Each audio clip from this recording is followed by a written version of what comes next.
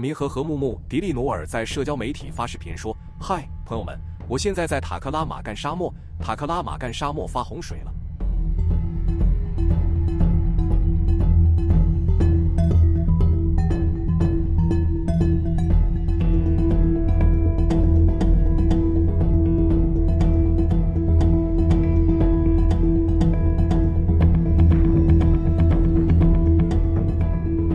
我的天啊！